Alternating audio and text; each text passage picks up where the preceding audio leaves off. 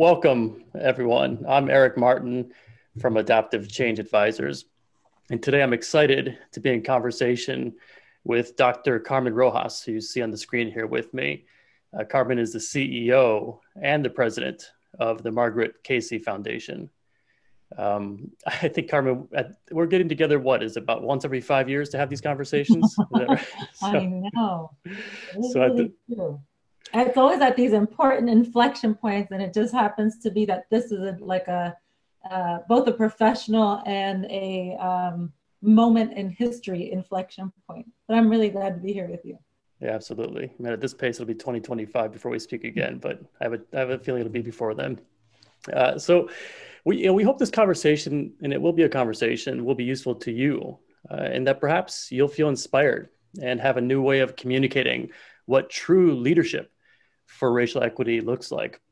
So we'll be checking the chat box uh, as we go. Please feel free to ask questions, and um, and then we'll uh, we'll respond as best as we can. We have about an hour here today, so I want to just uh, briefly anchor this conversation with a story. And let me put up a, I have a little screen share here, which I can show briefly. Uh, give me one second. There we go. And I want to I want to cast the anchor far away to one of the special places in my life, uh, which is a place called Ladva, India. And an even more special person who you see here on the upper left hand side named Vimal. Now, Vimal is right now recovering from COVID 19. And when he's not stuck in the house, he is leading a civil rights movement in India for what used to be called the untouchable peoples, otherwise known as a scavenger community. And um, I met Vimal some years ago and really became impressed with his take on leadership. I remember having a conversation as his organization was beginning to professionalize. People were offering money, foundations, and others. And he said to me, uh, and he said, Eric, there's not enough money in the world to solve this problem. We're talking about nearly 300 million people who are living in abject poverty and oppression. He said, There's not enough money to solve this kind of problem. And then he smiled in his kind of quizzical way and said, but there are enough people. So we've been working together, Vimal and I, for, for years based on these four beliefs, these four principles that guide our work. And I'll just speak briefly about them and then talk a bit about Carmen. Uh, so the this basic idea here is that we all have five leadership moments every day. Uh, so it's fascinating if you think about it. Every day you have a choice that you can make. And we'll talk a bit about that on this call, what those choices look like and invite you in a bit of call of action, call to action later on to consider your own leadership moments. But these big changes that we hope to see in our work and our society happen through small leadership moments. And people are always adapting and changing to survive and thrive. So leadership is no longer, and never was really, just the realm of the elite. Uh, and it's about us as individuals making each of our actions matter. So I first met Carmen, let me just take this off the screen here. I first met Carmen about 10 years ago it was a, a heated senior team meeting. Um, I'm sure you recall it well, Carmen. I, I do. It was a, a nonprofit that brought together people with financial capital and ostensibly people who didn't have financial capital. Carmen and I were both in our previous roles. My, I was a leadership consultant. Carmen was someone who had a finger on the pulse of something that few others in that room did, and that something had to do with racial equity. 10 years ago, mind you, this wasn't in the air in a very visible way. And it was a moment that called for, uh, screamed for really, someone to exercise leadership. And it wasn't coming from the person at the top or the people at the top. And to ask the hard questions, to have a courageous conversation, to take a stand. But Carmen did, and nobody else did, including me. It was one of my biggest failure moments uh, to exercise leadership, particularly when it comes to racism and racial equity. So uh, Carmen left not too long after that to create an innovative organization, which she might talk about later on. And she's now, as I said, the CEO and the president of the Marguerite Casey Foundation, a role where she is already, in a very short span of time, exercising extraordinary leadership. Most recently, by announcing a partnership with a sister foundation to support scholars who are imagining and building a different future for all of us. It's called the Freedom Scholars. You can look it up. And more than that, she's de- developing leadership in others. Uh, she successfully transitioned leadership at her last organization, hiring and promoting people in the current organization, and has uh, just a wonderful way of giving ownership to people, uh, which I really admire. So, as for me, I went on to create ACA, which is the premier mission based organization for adaptive leadership in the world. And our mission is to democratize leadership, which means putting tools that drive consequential change into the hands of anyone who seeks to lead meaningful outcomes, regardless of their identity, history, or access to power and financial capital, as I saw with Vimal in India. And I've come to see leadership as a moment. It's something you do, not something that you are. What is a leadership moment? Uh, it's a moment where you your heart leaps, uh, maybe with hopeful anticipation or fear of taking the next step. Uh, you've, I'm sure, and we all have experienced these moments in our lives. You know, the time that you called out a, a racist uncle at the Thanksgiving Day table, that was a leadership moment. At the time that you failed or chose not to become complicit in a political rant by one of your Facebook friends, that was maybe a leadership moment. So the people who take a stand on behalf of something bigger than themselves and often pay a price uh, beyond the loss of their own comfort are people who are exercising leadership. And they're often labeled as troublemakers, in part because the advocacy that they do comes at the common at the cost of someone else's complacency. So, Carmen, with all due respect, I think that you are one of the best and most strategic and most caring troublemakers that I know, uh, which is one of the reasons I'm honored today to be beside you for this conversation. So, uh, perhaps can you just tell us a bit about your own path as a leader and what it means for leaders to address issues of equity and access in their own organizations? Yeah. So first, thank you. Like, what a generous introduction, and um, I feel like one of the things that I've always appreciated about you, Eric, is this ability to look back at yourself in moments in time and um, hold the fact that we can all be better, right? Like every moment is an opportunity to begin again. Uh, and that happens through like a depth of reflection and assessment in oneself. And so thank you for the generous introduction and for for making space for us to be in conversation in this way. Uh, I'm really looking forward to it. Um, my leadership journey is an unorthodox leadership journey. Uh, I and for all intents and purposes, like an aberration of the American experience. My parents didn't graduate from high school, neither did my siblings. Um, I don't come from a lot of money or access.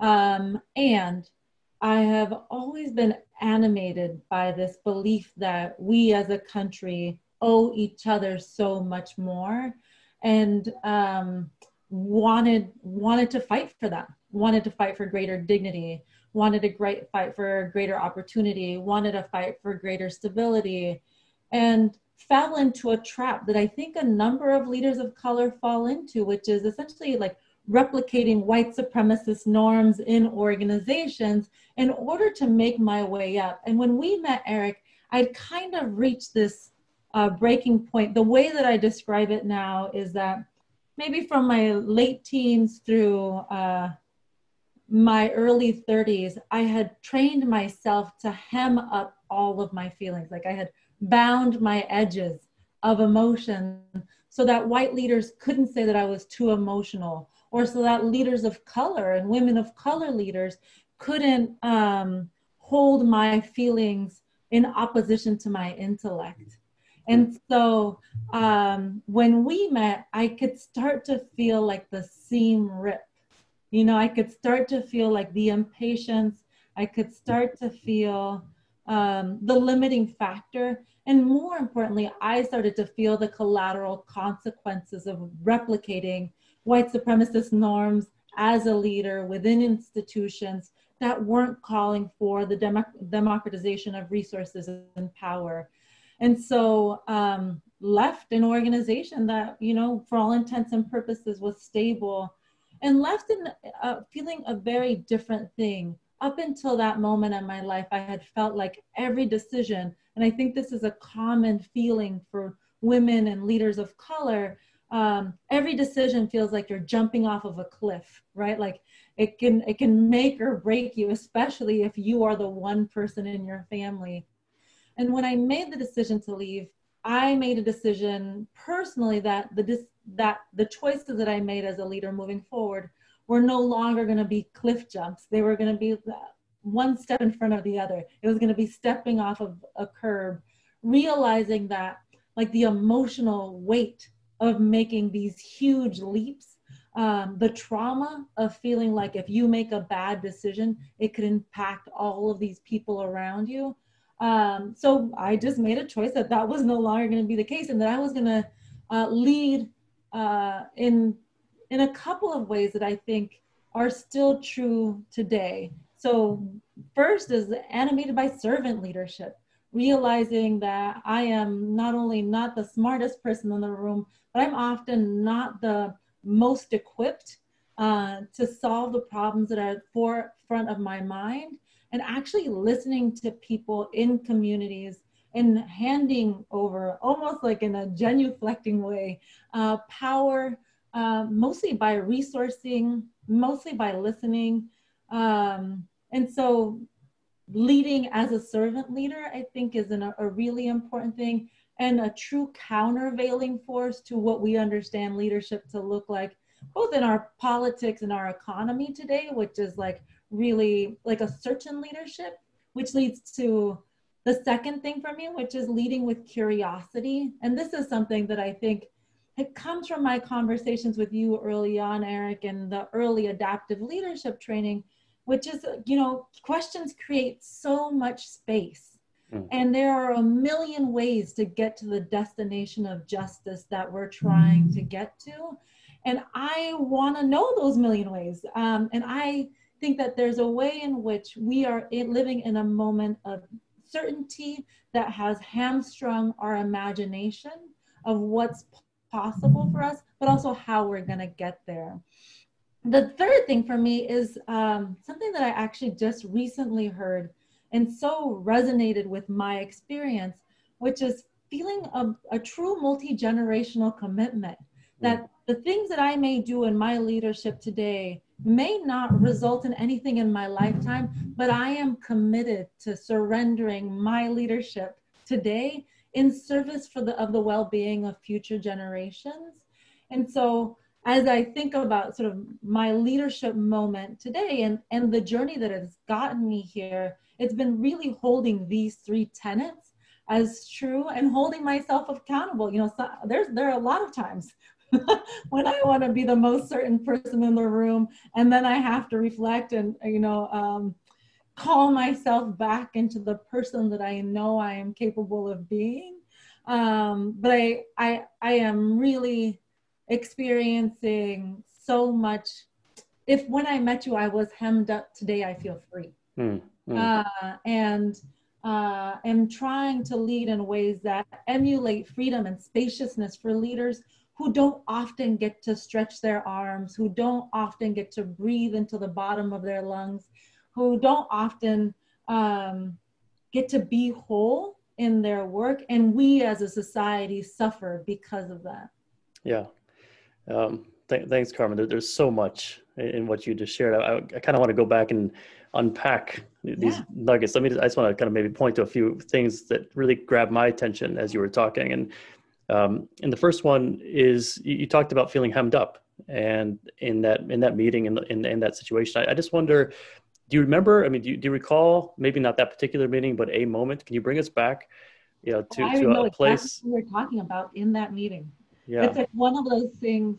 The thing about um, experiencing racism, like when racism impacts you, or race becomes a way that your intellect is questioned is that the person who inflicts that pain does never never has to reflect on that moment. It's something that happens passively uh, and in passing. But as the victim as the person who suffers uh, because of somebody's ignorance it's something that i feel like i carry at least. I'll speak for myself. Um, and i go back to the moment. So in that conversation we were talking about whether or not, as a grant making institution, we were making loans to supermarkets to go into communities. And uh, the loans were no interest. So essentially, it was free money to private businesses to go into places where there were no supermarkets. And I made the suggestion that, okay, we're giving people free money.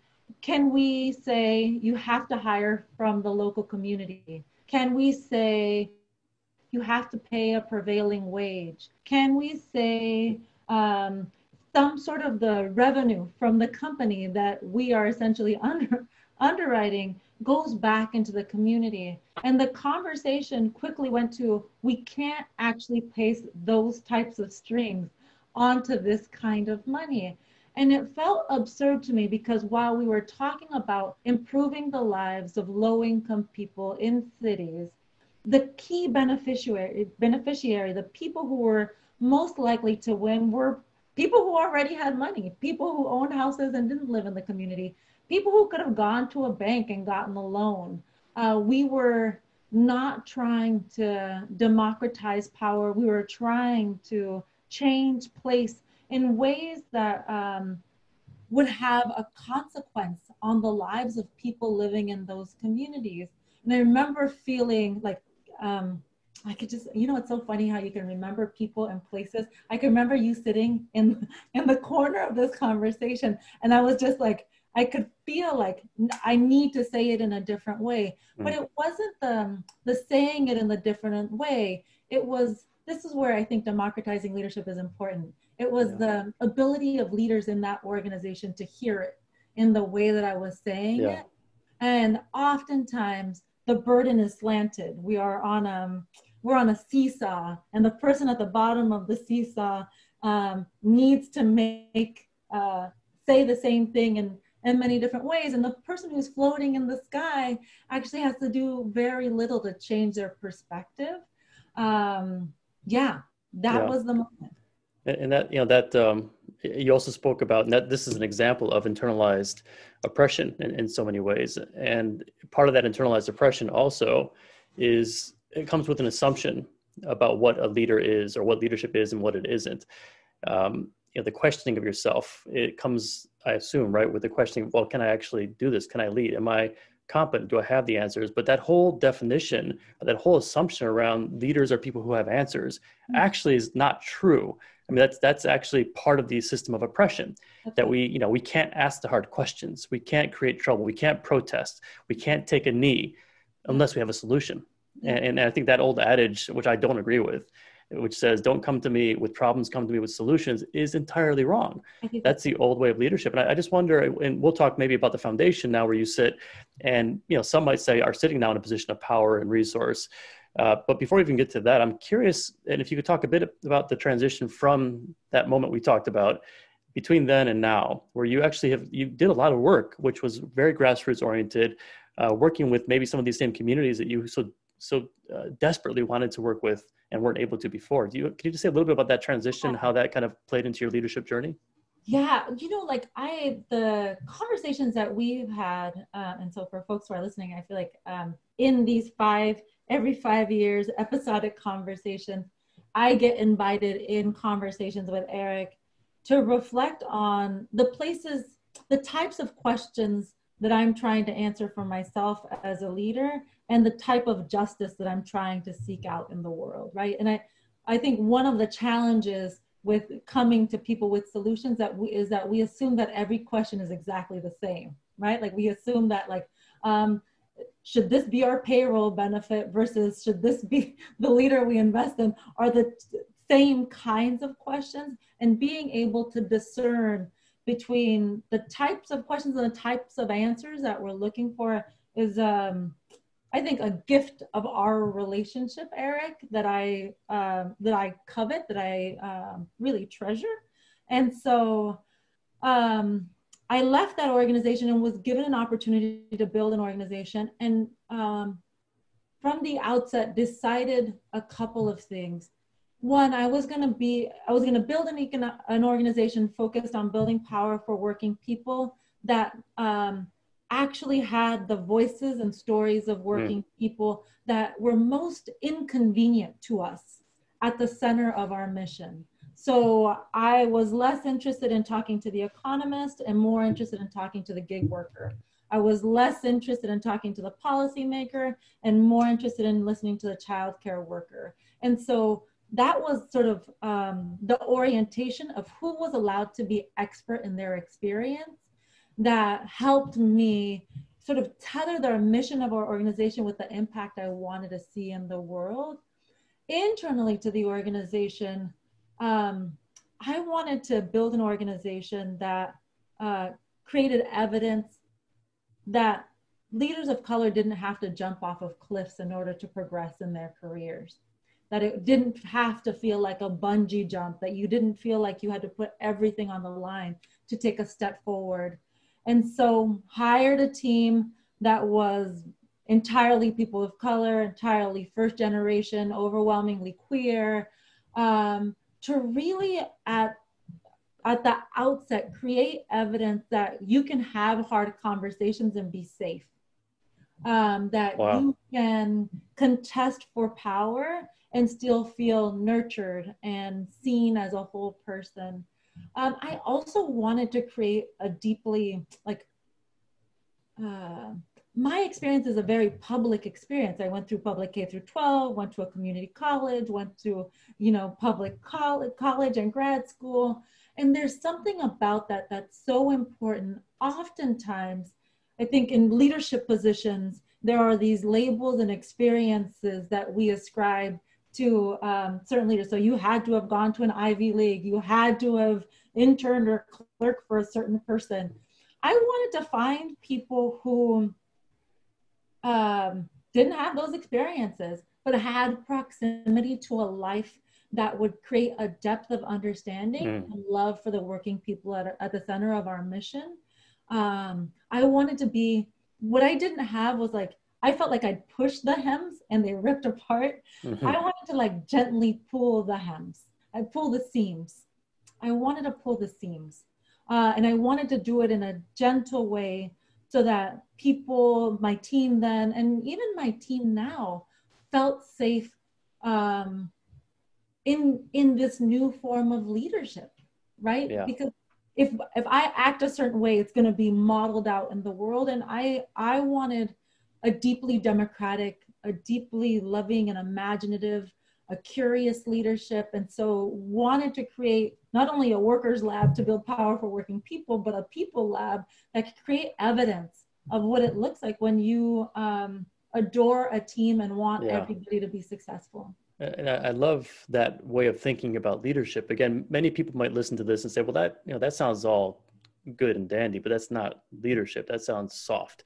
Mm-hmm. But uh, but that's some of the hardest stuff to do. I mean, to hire the team that you hired and for them to step into that space as well. I mean those are just the, the, courage required to do that. And then the courage as you said to have those courageous conversations. I, for me this idea of democratizing leadership is twofold.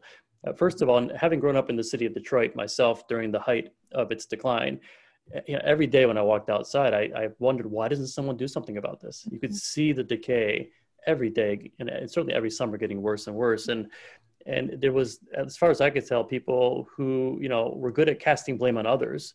And in that case it was you know well you know this is the, the, the black people are doing this black people are doing that the black mayor is doing this.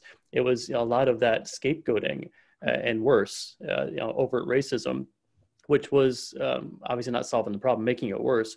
And i just grew frustrated by that. And when i eventually uh, came into this kind of work that i do now and got exposed to some of these frameworks of leadership, which I could say more about later on, I was wondering why don't other people have access to these tools and techniques? It shouldn't just be in the in the hands of the elite. So part of democratizing leadership is just about making those experiences available to people, those tools. But the other part, which you touched on, I, I want to ask more about this, is kind of the it's what Parker Palmer calls the, the heart of democracy, the skill set of democracy, which is holding conflict which you know conflict's going to come anytime we ask these questions and challenge norms and systems holding that conflict in a creative and life affirming way mm. and to me that's a heart that's a skill set of democracy that you know it's, it's what happens hopefully before and after the ballot the ballot is cast right. and yet doesn't enough and so you talked about these difficult conversations and i'm wondering you know just give us if you can just a texture like what kind of conversations do you see happening in this space of uh, racial equity that give you hope and maybe what are some of the you know the, the traps that you see those conversations falling into? And i'm thinking here of the technical adaptive distinction yeah, which we might touch on later on uh, yeah. for me the the i'm going to start the the opposite way. The the confusion um confusing representation and um uh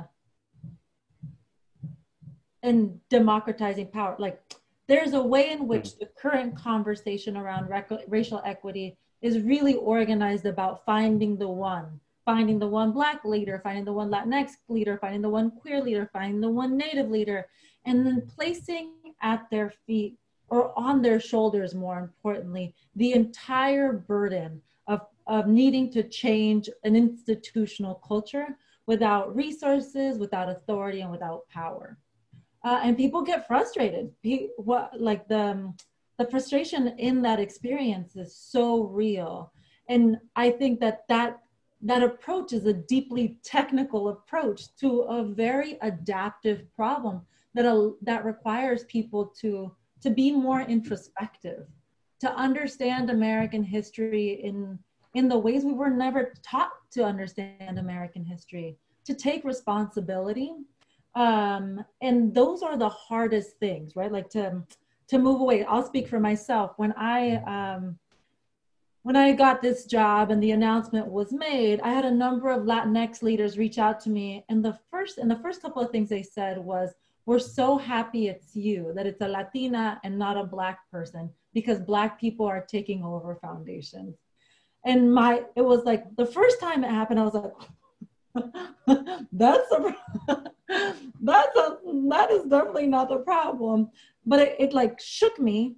Um so by the next time it happened, I needed to be prepared to have the hard conversation mm. of like, what um, what is your expectation of me as a Latina leader? Because I am surrendering to the need for Black people to be the core beneficiaries of anything we do as an institution and not at the expense of Latinx people, but because I understand that when Black people are liberated in this country, we're all liberated in this country.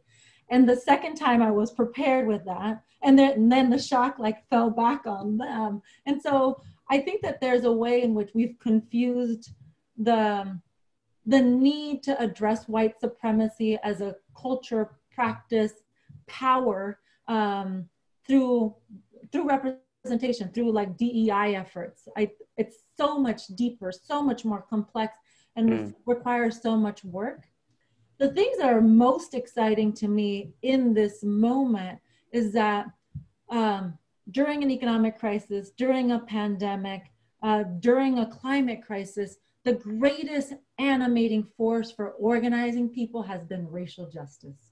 That racial justice, more than any of these things, has um, motivated people who have never protested to protest, has asked and invited people to ask questions about their complicity and their comfort in ways that in my lifetime and probably in my parents' lifetime had not happened.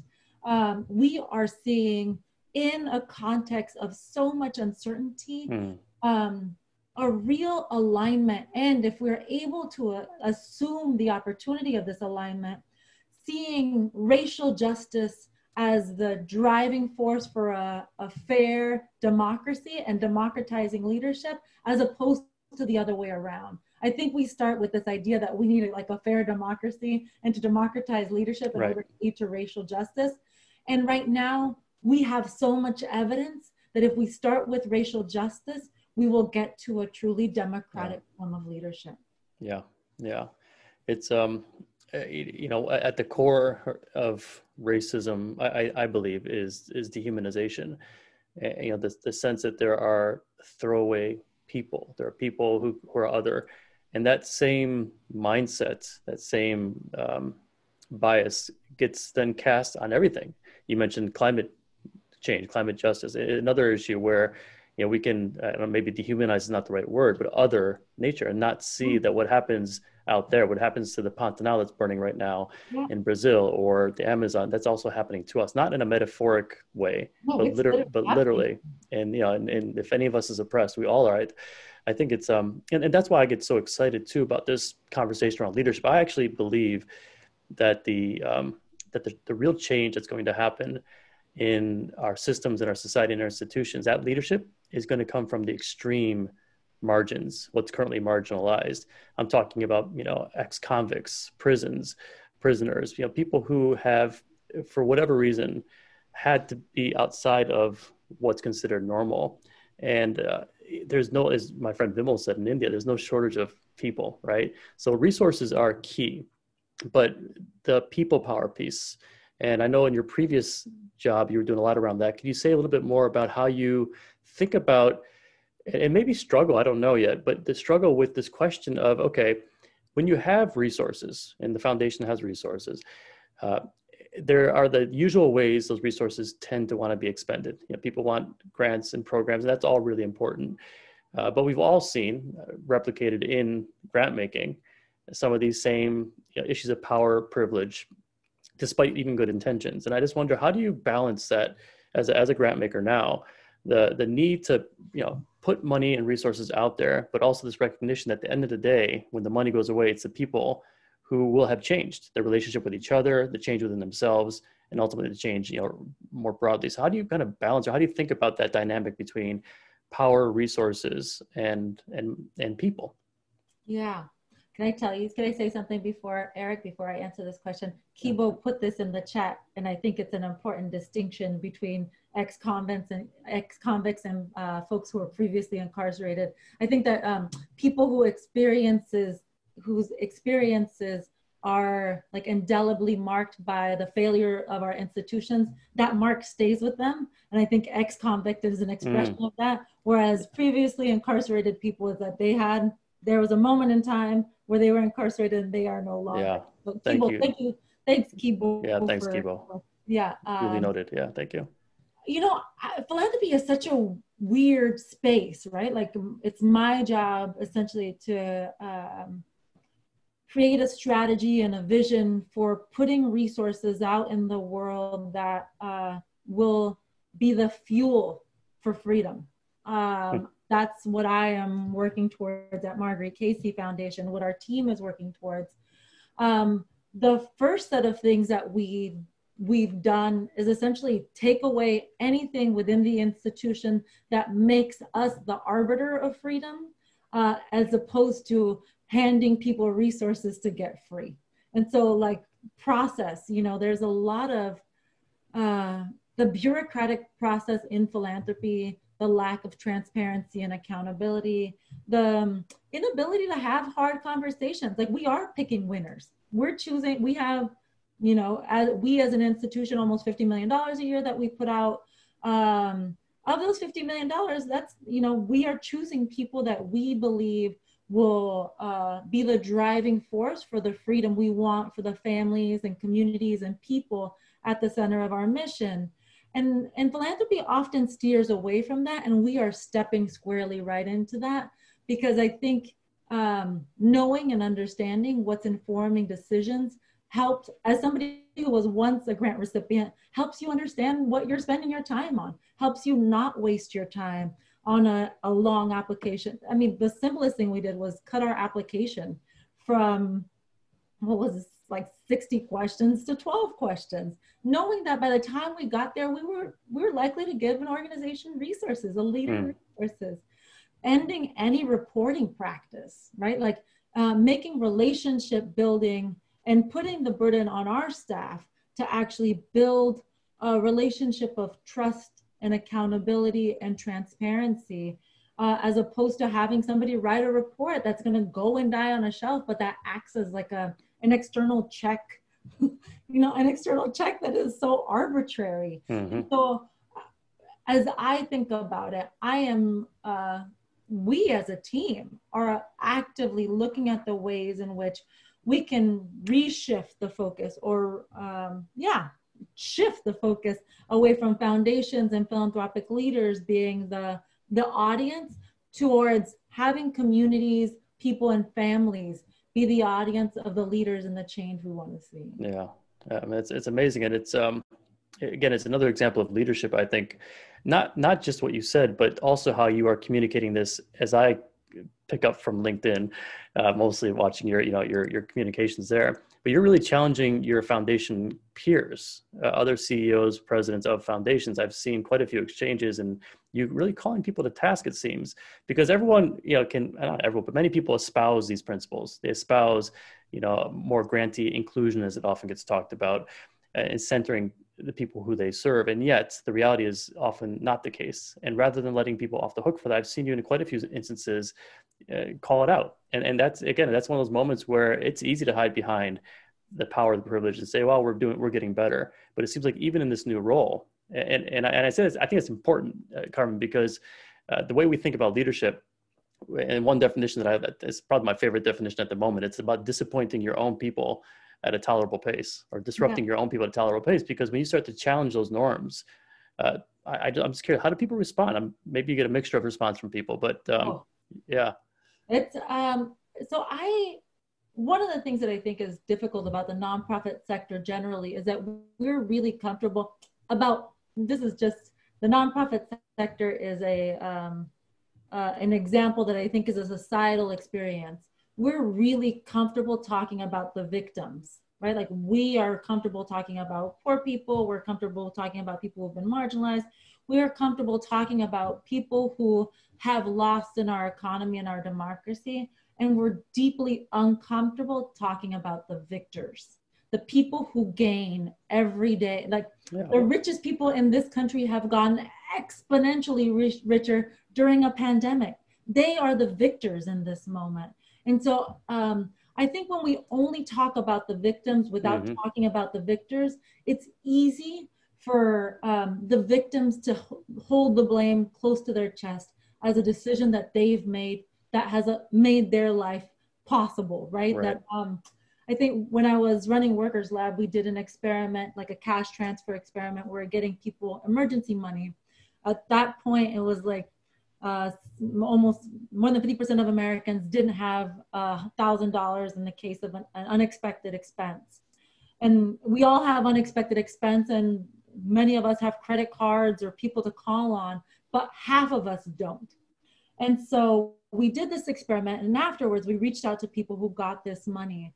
And Eric, the thing that um, still sticks with me to this day is that in these interviews, people could point to the one decision that made their um, their condition of being working poor inevitable.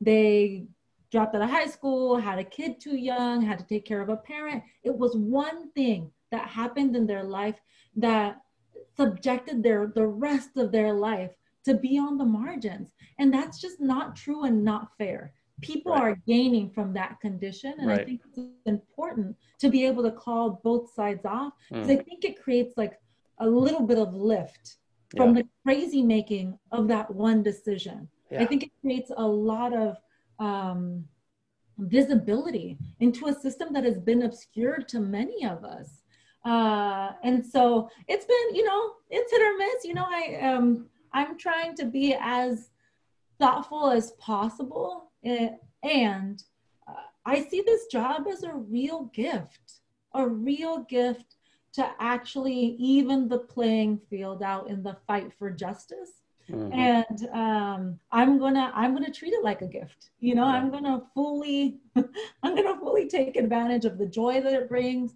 I'm gonna truly hold to my heart the pain and the sorrow that it brings, but I'm gonna use it. Yeah.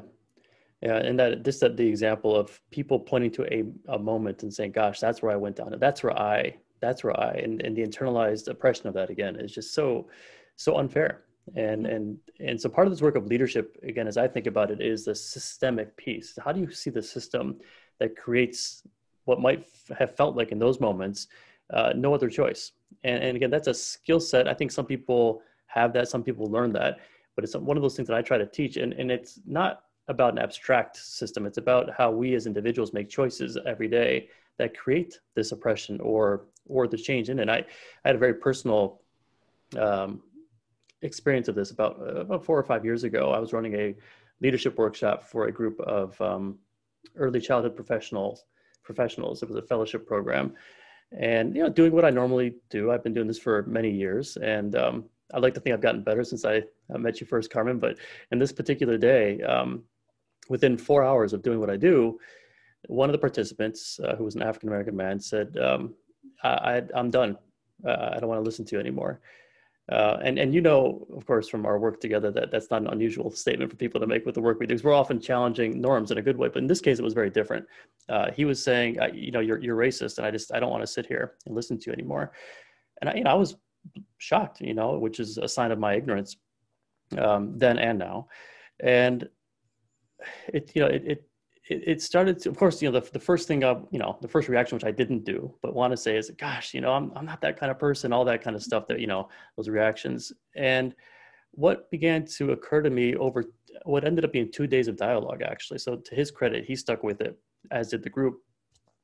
And over two days of dialogue, it, it occurred to me that what I was feeling in that moment was an inauthenticity to myself. In other words, why can't I just be me? It was kind of the feeling, why, if you only knew me, right? That, that was kind of the rationale. And of course, that sense of not being seen, not being valued for who I am mirrors in so many ways what's happening to them. But, but it was, um, what, what the really, the aha for me was that this idea of power, power transfer, yeah, it's not about giving over power. I don't think it's not about even necessarily empowering, but at least coming from a person who sits in the kind of the dominant culture, you know, heteropatriarchal culture. What it felt like for me in that moment was that my identity, the very notion of who I am as a person, couldn't just be decided by me. And up until that point in my life, I'd always been able to define my own identity. And here I was now having to have a relationship with this group who had, you know, both positive and negative reactions to me. But in any case, I had to really be in dialogue and relationship to discover who I was becoming mm. with them. And that was really powerful because I, I realized at the time, well, at the time it felt like I just can't be authentic to who I am if you only knew me. But over time, it occurred to me that that was actually the giving over power in a small way, at least in a conversational way. And so I, I, bring that up because that's an example of what we talked about earlier on of this kind of technical adaptive distinction, which yeah. comes from the work of adaptive leadership from the, the Kennedy School at Harvard, as you know. And it's, you know, the technical solutions are often about, you know, programs, you know, finding the right people in, in certain ways. And that's all really important. But this deeper level of change, which can go to the core of who I am, my identity, but it could also be organizational change and team level change. That's more adaptive. It's harder. There's no there's no expert really that can tell me how to do that but there are people who can hold me in that place of discomfort and even make me feel uncomfortable like that man did. And that was a leadership moment of his by the way. And so i hear in what you're describing you know you're creating this crucible or this holding place for people to feel safe enough to begin to explore these and other kinds of questions around their own work and their own choices and, and their own self limitations perhaps as well. Is that is that a fair statement? Or how do you how do you kind of think about no, this work of mobilizing others? Yeah, no, I, that's it. And then doing so in ways that people feel safe, right? Like I think what he did, um, the questions that he called on you to ask of yourself in that moment, um, leaders of color experience every five minutes, right? Like a questioning of intention, a questioning of purpose, a questioning um, of contradiction, right? Like um, I need to make money to take care of my family because I am the only one, and I'm not fulfilled in my job and don't feel like I'm doing my best out in the world. Holding that contradiction tightly is something I think a number of leaders of color mm. experience, and so I think it's like a generous um, invitation that he had, and that's the invitation, right? Like, how do we? Um, I I this isn't going to be a non sequitur, but I'm going to come back. Like, I think love is the beginning, right? Like, it's the easiest thing to do is to like um, fall in love with somebody, to to have a crush, to start to develop feelings, to to like love somebody. The hard thing is um, seeing somebody. The hard thing is trusting somebody. The hard thing is telling somebody that they hurt you. Mm. Uh, the hard mm. thing is asking for something and needing something from somebody. And so I think in our in our relationships, we lead as if love is the destination and it's just the beginning. And uh, I want to create environments where my team not only feels loved, but they also feel safe. And they also feel like uh, when I am upset and I tell them that I'm upset, that it's not going to be a character judgment and it's not going to um, atrophy their ability to be in conflict with me. I don't I don't have all the answers and I'm clear about that, but of course I have preferences, you know, and uh, I I want to make sure that people have the room to say these things while um, while feeling safe. Mm-hmm. And I think many leaders like take the oxygen out of the room. Yeah. Um, in their leadership. Well, I love that you brought up love. Um, I, have recently come to understand love as an expanded sense of self, an expanded sense of who I am. That who I am doesn't end with kind of my physical body, but it includes you. It includes yeah. others. It includes my team. It includes uh, people who don't look like me, or even you know nature to some extent. And that, yeah. for for me, I think you're exactly right. That you know, coming from that place, you're going to behave in a way that will be healing. That will be um, generative. I kind of equate it to like you know maybe a counter example is if my if my son I have three kids here, uh, if my son was sick, and and I wasn't taking care of him, and you and you said to me, Eric, you know. Um, you better take care of him. That's the right thing to do. And if you don't, he's not going to take care of you. And by the way, Child Protective Services might come and take him away. And I was like, you know, Carmen, you're right. I should I should take care of. Him. I will. Like if that's the place I'm coming from, I'm not going to probably treat him well. Yeah. But I I take care of him not because I have to, but because it's an expanded sense of self. If he's sick, I'm sick. And so in the same way, we're talking about you know race and racial equity uh, and leadership. And yeah, I think that's if we're if we're not coming from that that kind of place where I you know I matter because you are. If we're not coming from that place, then any action is not necessarily bad, but it, it, it may encode the very problem that we're trying to solve. Yeah, I mean, I think the thing that I'm struggling with right now in my leadership journey, Eric, is this question. Like, I, um, I am so angry at the moment that we're in as a country that I can find myself walking to the line of wanting to hurt people or like mm. wanting people to be hurt. Mm. You hmm. know, of like, mm. uh, you, my humanity is always being called into question. My my valor, my intellect. And most of the times I feel like I've been able to like matrix my way out of like these feelings. And my leadership challenge in this moment is feeling a depth of connection to an us. You know, like uh not having Toni Morrison, um, somebody I love. Uh, the book just came out of interviews with her, and um, in it, she talks about how we are living in a moment where people can't have conflicting ideas without wanting the other person not to exist. And I think that that is my that's my leadership challenge in this mm. moment. I think it's mm. many of our leadership challenge in this moment. And it doesn't mean I think sometimes people hear that and are like, "Oh, I just have to accept what they say." No, I just I have to. That. Right. Yeah. Yeah, I don't think it's that. I think it's something else something uh, with a greater sense of depth. But I, if I'm hearing you right, it is this thing. It's like understanding that uh, we have to tether ourselves to each other. That there is an us. That there is an us, and believing yeah. so much in an us that may disagree with me. Um, and um, yeah, it's a real. I'm in the in the in conversation about racial justice, racial equity, this has been a real, I feel like I'm at the apex and I'm like, mm, how am I, yeah. how am I noodling on this in ways that don't, uh, don't automatically mean I need people not to exist or yeah. to be harmed. Yeah. Yeah. Well, I'm, I'm um, thank you for sharing that, Carmen. That's a very honest and raw place to be speaking from. And, you know, I, I do think um, the anger, you know, it, it's so important. I think the anger often comes from grief, you know, and um, and that sadness, and it's a natural reaction to that grief. But I think also the feeling of the grief itself can be an important part of this process. In fact, um, you know, one of the things that I've come to learn through this work is as this old system kind of dies and it's dying it's it's been sick for a while by old system i mean you name it right yeah. heteropatriarchy you know the fossil fuel based system the philanthropy as we know it, it this is all dying to some extent um, i mean part of the work is to create something new and you've been doing that and you, will continue to do that that kind of innovative piece and mobilizing others but the other part of that which we don't often talk so much about uh, is is the holding people through a period of loss and grief and hospicing that. Now, that's not everyone's work to do. I think in, in, in, many ways, that's the work of people who sit as gatekeepers, as people who consider themselves white.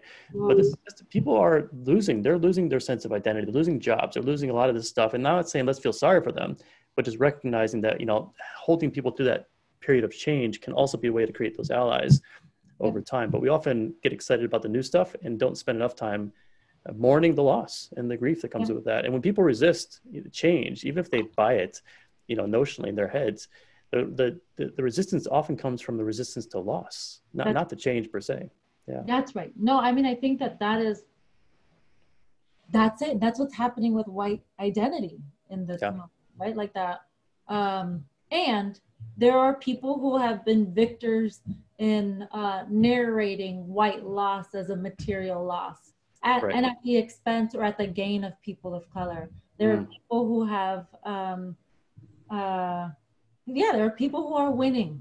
Um, and I, the thing that's difficult for me in this moment is this feels like um, an adaptive challenge times three, right? Because it, um, yeah, uh, it's about who I am. It's about my mom, you know, being an immigrant, things that she dreamed of.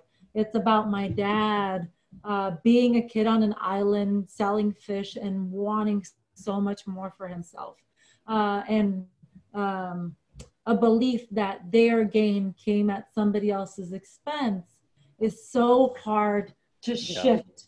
Yeah. It's like so hard to have uh, positive feelings or like uh, hold the complexity. Yeah. That's not even positive feelings. To hold the complexity mm-hmm. when it feels deeply personal. Uh, because it is personal. It is who I am. And it, it is, is yeah. to white people because it is who they are.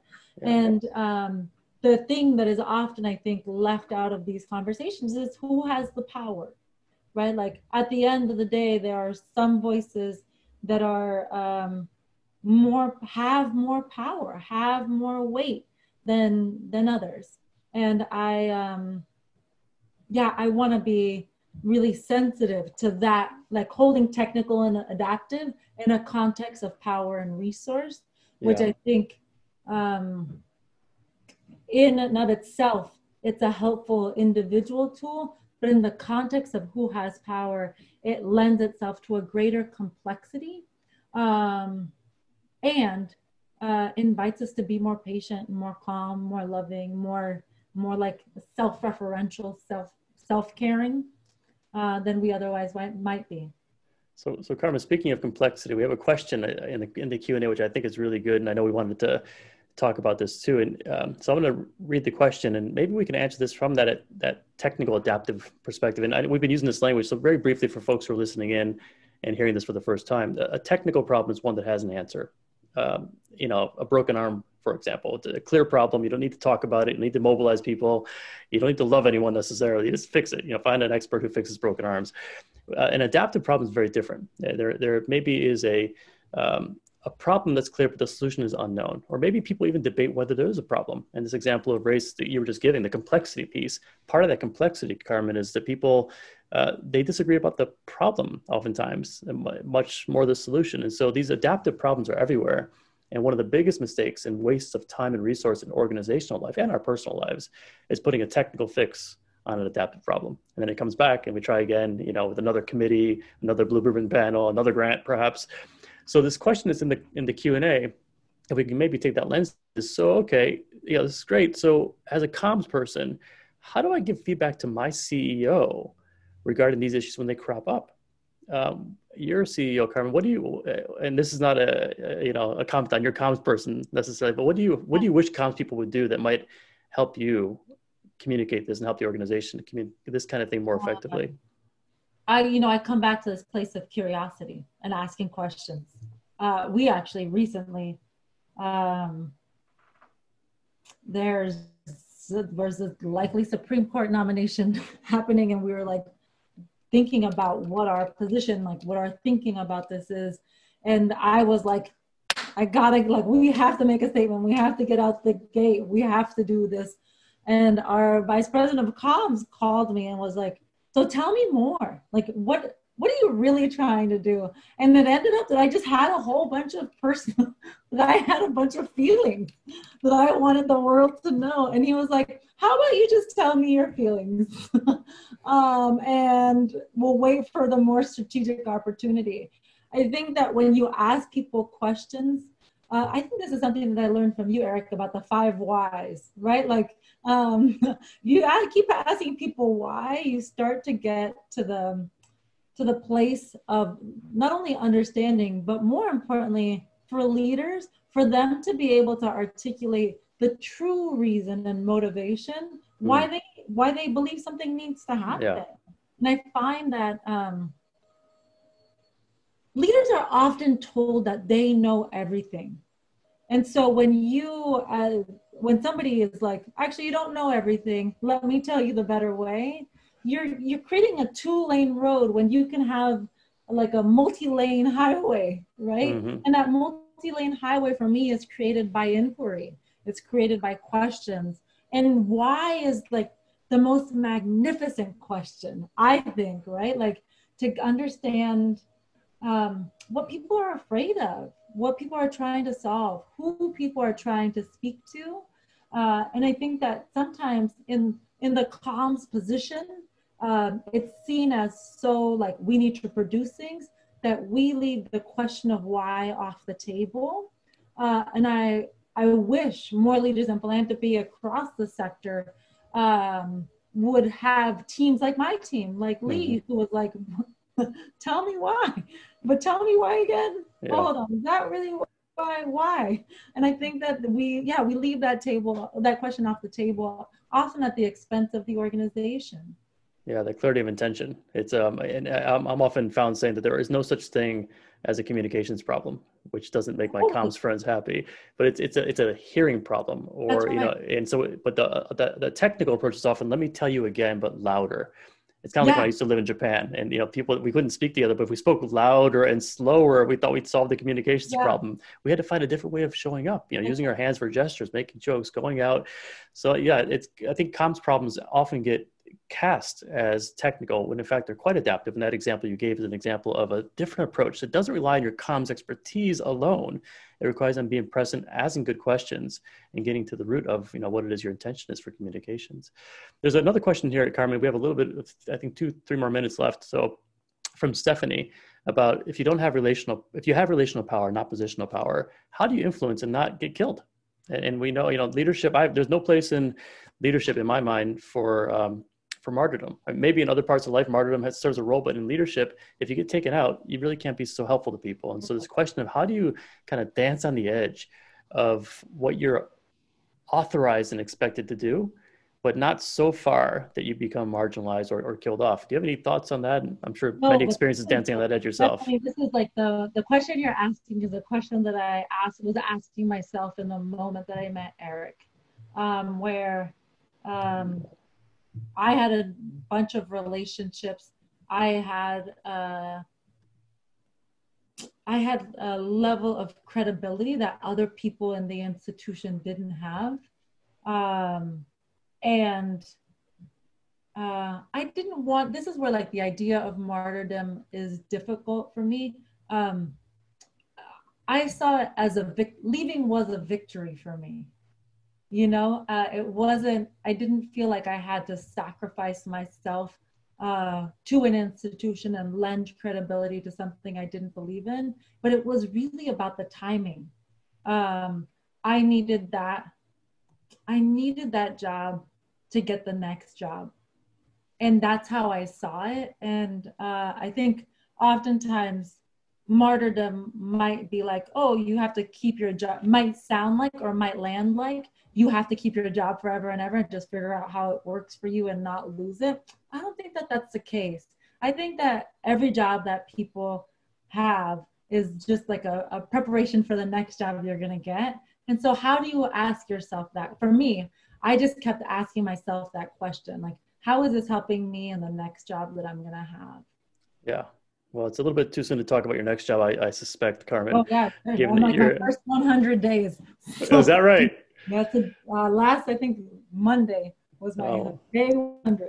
oh, congratulations on your 100 day anniversary. I'm very excited to see where this takes you as well as where you take the foundation and the field as a whole. I, I can't imagine a, a better place and a better person uh, to be to be doing what you're doing, and um, and knowing that you're you're empowering and enabling others to lead with you. Because one thing we know, just from the conversation we're just having here too, that you can never lead alone. Uh, it's it's impossible to, to lead alone, and yet by holding people on high uh, like those phone calls you were getting, oftentimes the result is we take on the burden, the responsibility for doing it all. And that's another way the systems crush us because because we yeah. can't do that. Yeah. That's right. Uh, well, I don't, I don't, want to leave on a crushing us note here. So, is there any other final closing thoughts as we wrap up here, Carmen? You want to share with no, folks? Oh, like I am. Um, I don't think that that was a crushing thought. Like I think that this is we're having honest conversation about where we're at, and uh, if you live in this country and you are thinking about how to narrate the current moment, your work, our democracy, our economy, our institutions, um, we aren't in a great place. And I think that there's crazy making to try to find, um, uh, to try to like narrate it or justify it. I think we can find like the fireflies to tether together in a jar, to bring together in a jar and create a, a lamp. And um, I think it's important that we're just honest that this we are in the hardest moment that we will probably ever live in. And it's probably going to be hard for a little bit longer, and we're not alone in that. Yeah. Well, thanks, Carmen. It's great catching up with you as always. I hope this is helpful for folks. And I, I, hope saying. I hope people here can uh, can really step into their own leadership moments uh, and let us know both the successes and the failures. Take care, all. Bye.